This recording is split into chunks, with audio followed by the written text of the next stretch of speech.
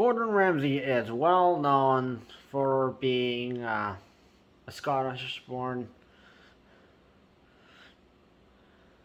Michelin uh, star chef who owned uh, several uh, cooking shows uh, and also did sponsors for different uh, companies kitchenware also uh, kicked off uh, MasterChef MasterChef Junior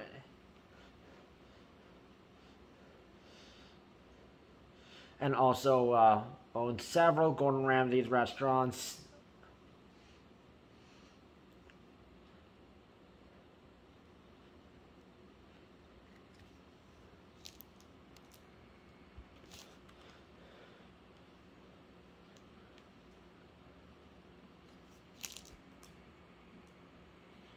And also was probably uh, one of the most funniest people uh, on the interview show Hot Ones, uh, where he was very struggling uh, dealing with the spiciness of the hot sauces.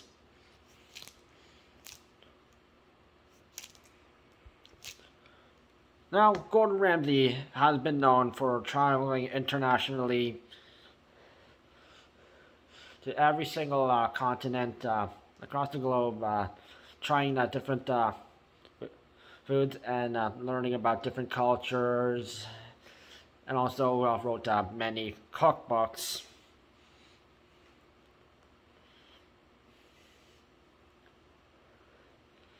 And he's also uh, known for challenging other people to uh, comp competitions.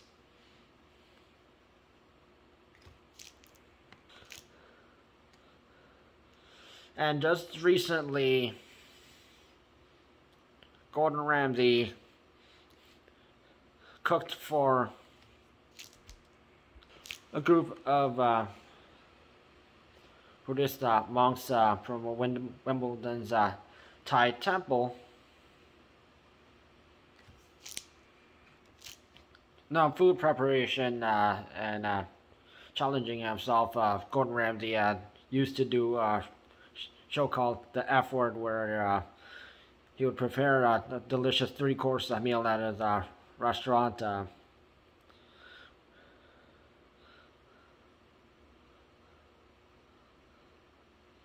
where even his mom uh, got involved uh, in a baking competition. Uh. But just recently, cooking for some Buddhist monks at uh, Thai temple.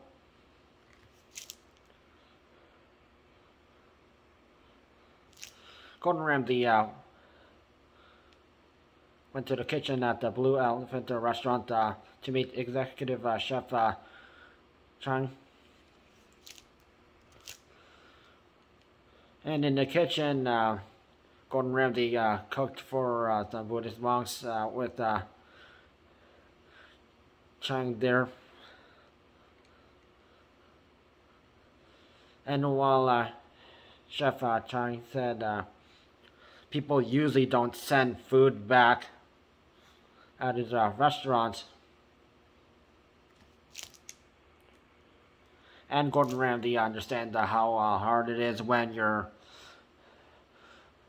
the most famous uh, Michelin star chef out there and you're well known. Everyone looks up to you uh, from different countries and across the world.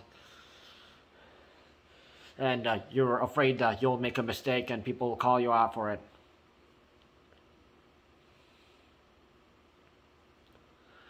So Gordon Ramsay starts uh, starts uh, cooking uh, using some uh, shallots, uh, some spring onions, uh, chilies, tamarind, paste and a bunch of uh, absolute uh, whopper prawns. Uh, and he was excited to, cook for Buddhist monks, which he never did that before. And while everything was going good, Gordon Ramsay puts in some fish sauce, salt, and uh, sugar. like you're supposed to uh, do it uh, in a rest. Then put the beaten egg in the wok uh, before uh, throwing in the sauce along with noodles and bean sprouts.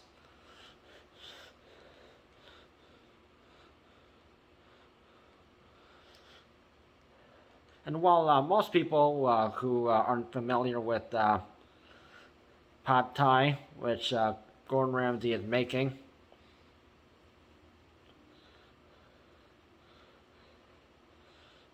and people have seen uh, Gordon Ramsay make pad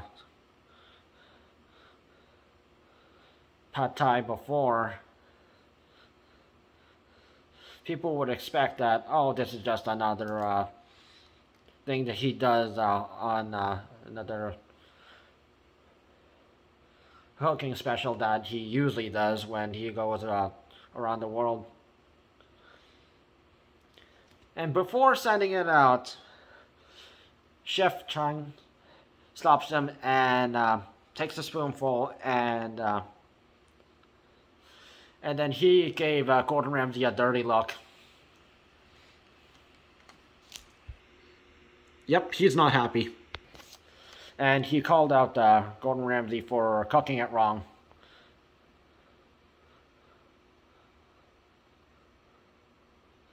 Which he says, what do you want, want to know from me? Ask me. And Gordon Ramsay asked, how is it? And uh, Chef Chung says, uh, hmm, no, this is not pad thai at all.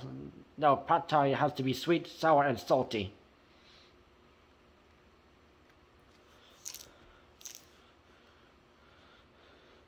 Now, people who uh, who are uh, big fans of Gordon Ramsay would find this shocking and uh, assume that Chef uh, Chang would is not knowing uh, what he's talking about.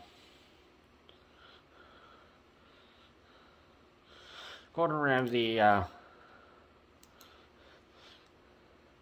tries to uh, turn things around uh, and tries to disagree, saying, I, I think it doesn't taste too bad. It's not perfect. And uh, Chef Chang says, for you, but not for me.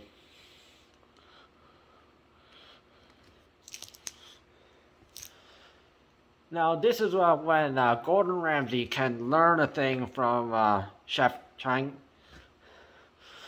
Because even the most best chefs and cooks out there and uh, can always uh, have room for improvement.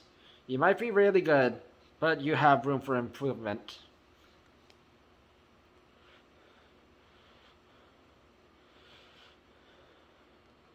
Gordon Ramsay is uh, used to uh,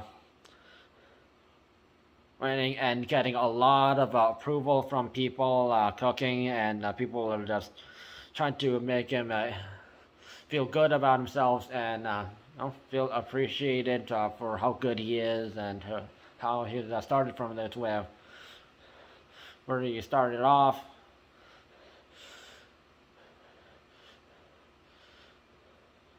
But there's a lot of people who are not uh, happy about uh, how Gordon Ramsay is approaching how going to different countries and trying to cook for other people and not doing it as good as how originally you're supposed to cook it up from.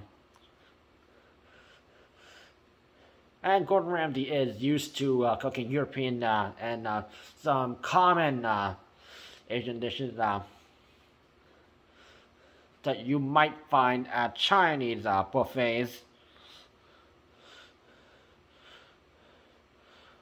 or other fast food Asian restaurants like Panda Express. Gordon Ramsay uh,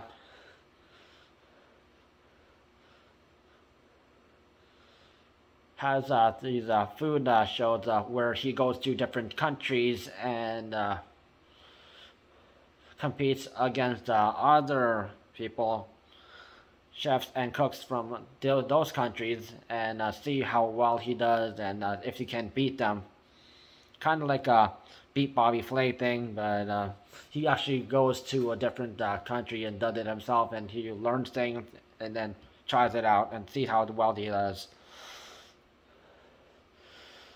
Gordon Ramsay went to uh, South Korea one time and was featured as a guest on uh, Korean uh, blog show, which the English title is uh, What's in My Refrigerator, which the Korean title is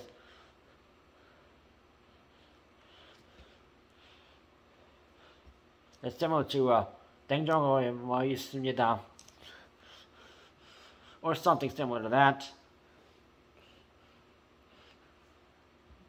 Ding Dongle. It's a KBS uh, or SBS uh, broadcast uh, show where these Korean uh, chefs uh, they discuss food and chefs two chefs go head to head in in the kitchen and under a certain time limit they cook Korean uh, food uh, menu in that time and see how well they do with only the ingredients in the refrigerator. So they can't cheat. They can't go out the shopping at uh, any Korean supermarkets. So they can't go to E-Mart, uh, which is a Korean supermarket that's commonly in uh, every single uh, corner of South Korea. And they can only use uh, what's in the refrigerator. Gordon Ramsay was featured in one episode, and those chefs are big fans of Gordon Ramsay. They looked up to him. They started uh, their chef uh, jobs because they are big fans of Gordon Ramsay.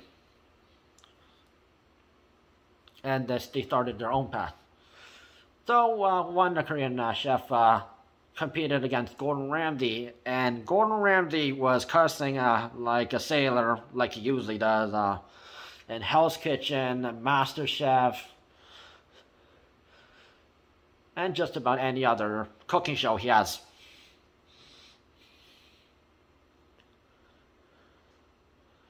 Or uh, anywhere she showed up.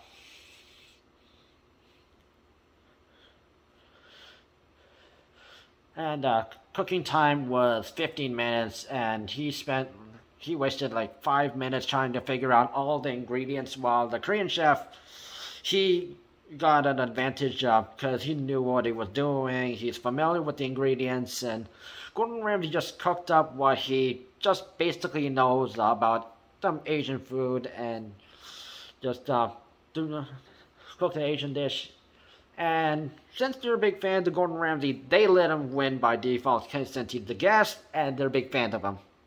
In respect. And they were making fun of uh, Gordon Ramsay for cursing, because uh, they found that funny because he does, uh, they watch MasterChef and Hell's Kitchen.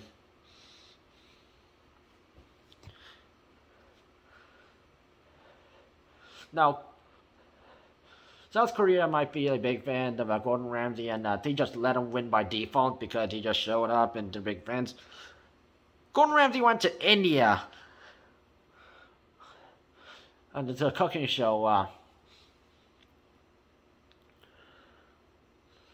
and unlike uh, the South Korea one, which was uh, not uh, his, uh, it was uh, owned by the cooking show people at KBS or SBS good to go on by Gordon Ramsay. Uh, he showed up to uh, India to uh, learn some cooking and uh, cooking in uh, forest, uh, and uh, he learned uh, cooking uh, some uh, one of uh, Indian curry from a chef in a restaurant, and he entered a cooking contest uh, where the chefs go on head to head and see who makes the best curry. So you may think that, oh, they, India, uh, they know who Gordon Ramsay is.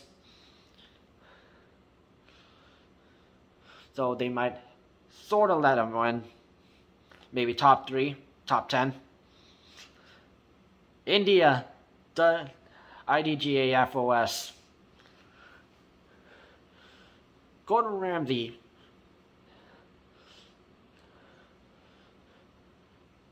may know how to cook stuff, but he is not the best at every single culture.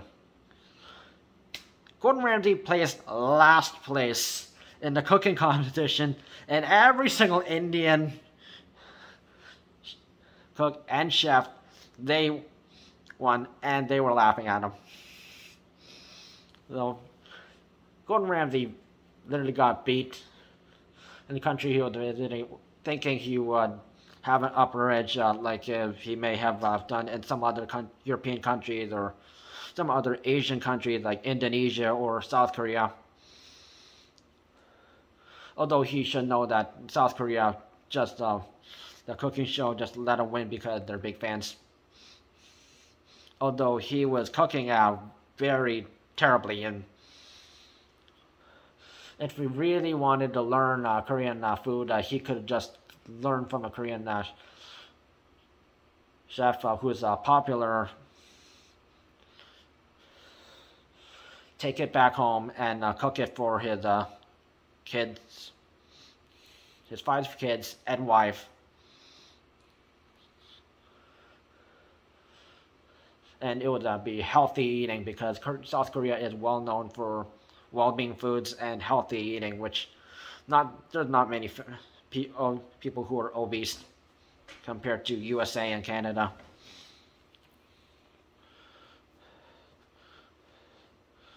On Hot Ones, uh, a food enthusiast uh, by the name of Eddie Huang, who is a Taiwanese American uh, who who does a blog show called uh, Cash Only. He went, uh, he goes to uh, restaurants all around for the world where the, they only accept cash. And he uh, goes to these uh, local restaurants and uh, tries them out. And shares what he thinks about their food and shows appreciation he doesn't uh, go around like Gordon Ramsay trying to outdo these people and uh, he threw a lot of uh, in, insult at, at uh, Gordon Ramsay, saying uh, how he doesn't like uh, Gordon Ramsay's uh, cooking show and uh, how he goes to other countries and thinking he can just beat these uh, people who from this uh, different countries and beat them at their own cooking. And he described it as going into someone's home and saying, I can cook your food better than you. And Eddie Huang does have a point. Gordon Ramsay, he could uh, learn to, uh, if he wanted to learn about, uh, for instance, uh, Indian culture, he could have just, uh, not entering that curry competition, he could have just learned about how to cook uh, this and just put it in this cookbook and took it home and also tried uh, people I tried this uh, curry dish. Uh, you can uh, make uh, same thing over there.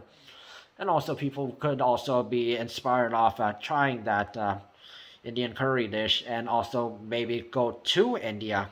To try it and India is known for creating their own spicy dishes and they use a lot of spices and to make some really good stuff and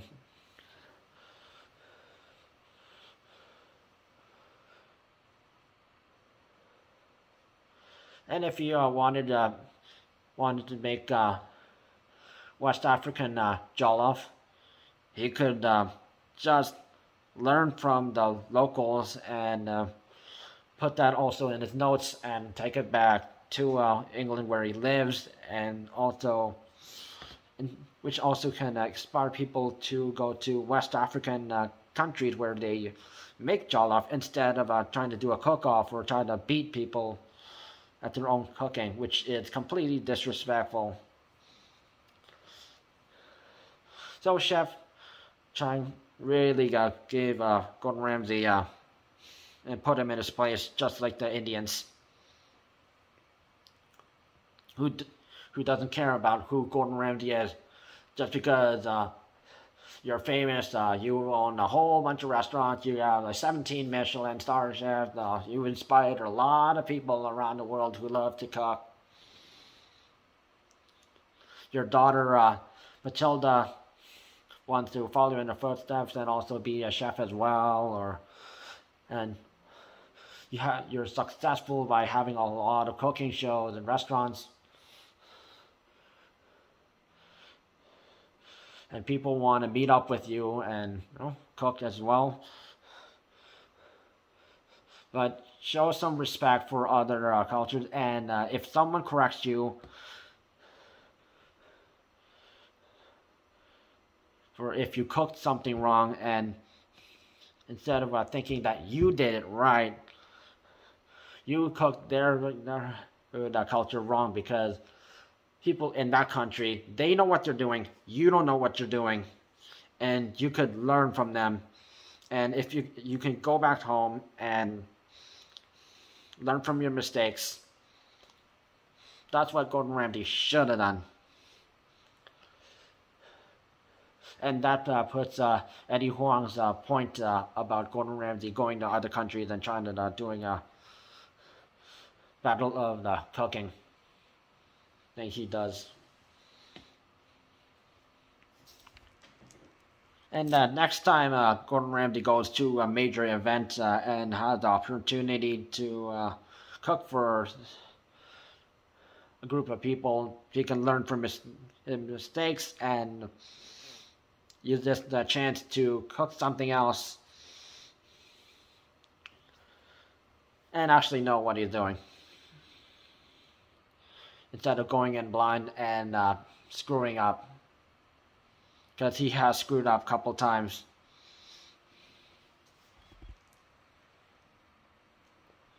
Because you can't uh, beat uh, people uh, who uh, in their own cooking uh, in, in their own country